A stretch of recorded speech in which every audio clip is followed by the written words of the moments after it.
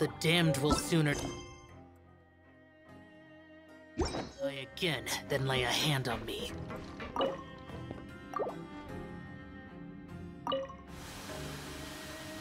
Once the widget is hot enough to glow, jump to step on the pedal and hit the widget with the hit. So if the machine gets jammed, you just need to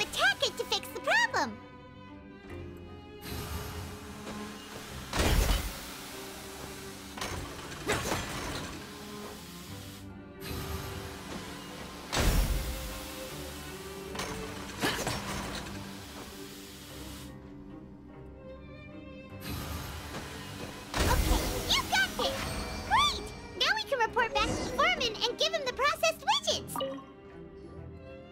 Huh.